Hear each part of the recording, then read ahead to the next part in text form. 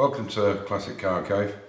Um, unfortunately there's no update on the engine and that's for a very good reason. Um, there's been a, a, a, death in Max's family. In fact it, it was his wife who died um, about two weeks ago. Um, she had a brain hemorrhage and uh, was taken off to hospital and never regained consciousness and died uh, Saturday last week. Not Saturday just gone, Saturday before. So obviously his, uh, um, my issues with the engine is fairly pretty small down the line of course. So I obviously didn't want to bother him in his time of grief and um, I sent my condolences and there wasn't much else I could say. So I've taken the carburetor out. What I'm going to do is, is uh, I'm going to take the jets out and just see what they are because I don't know what the actual sizes are in this. Now if you, if you look at this carburetor you can see it's actually uh, the name of it is actually um, uh, a man Mangolesti, man Mangolesti. I should imagine it's Italian. It's it's very much the same as a Weber carburetor. It's set up the same way. I mean, uh, Solex and a few other companies have obviously used the same design. But what I'll do is, is I'll see if I can get these jets out and see see what's causing the problem because it definitely was over fueling. There's no doubt about that. So I've taken off the, uh, the inlet manifold here. Everything seems okay. And what I'll do is I'll just check. So the 40, 45, 50, whatever is actually the size of the butterfly opening or the orifice size. So if I measure this now in, in millimeters of course, that should be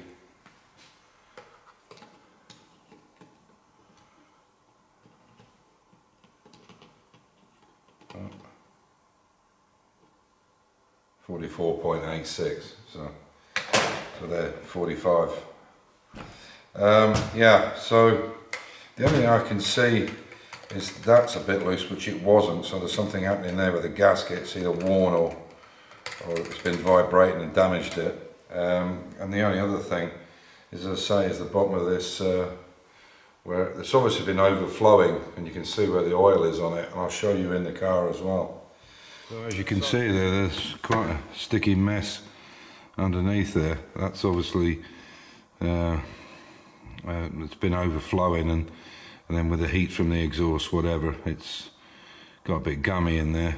Um, you can see obviously I had to make this special area. This one comes out as well.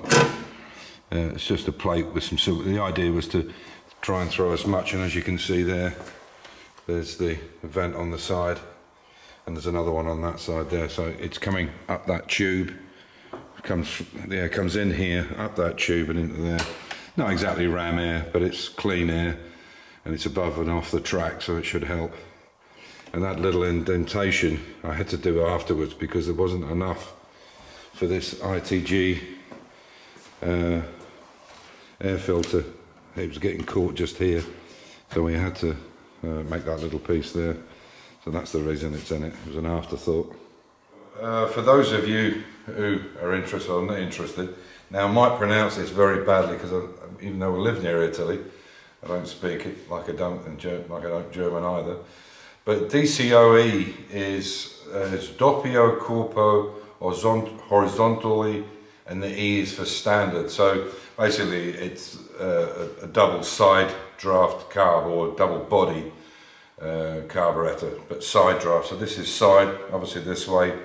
The IDF is actually the other side, it's inverted doppio, so it's inverted double, which go down that way. You see a lot of ones where they go straight down. And now originally the Webers were only were made in Italy, and I believe now they're made in Madrid, Madrid in Spain. Um, so I've done some checking. These main jets are F8. So if anybody out there uh, Richard, the guys that do performance minis and stuff like that. If somebody's out there that does know these stuff, now this, as I said, it's a, a, a Mangolesti, so I would imagine it's it's a copy of a Weber, I would imagine. But to be honest, the price doesn't look that much difference. But um, maybe Weber's better. Um, it's a better known name, and everybody calls them Webers anyway. But this is an F8, and it's a 160, and that's that main jet. So I've taken that 160 off that tip and the F8 from here, from that tube. And the, these chokes, or the, the smaller ones, the smaller idle jets, they are F8 55, that might be 5.5, I'm not sure. So if anybody could give me any information on that and what I should be looking for. I'm not an expert in carbs, um, I mean, I'm just a general mechanic, but uh, I don't know these uh, particular ones. And, and I've just always called it a Weber, and I think most people do, whether it's Solex or whatever, because it's, it's a Weber setup, or the, the operation is pretty much the same. Anyway, so I'll again uh, once I find out what the situation is with Max, hopefully this week he'll contact me back and let me know what the situation is, and um, and then we can go on from there. Uh, we'll do some tests, and I'll check. I'll take this carb over to him and, and see what the situation is, and uh, and we can go from there. Hopefully, the situation will be it'll just need a rebore to 1330 from 1310.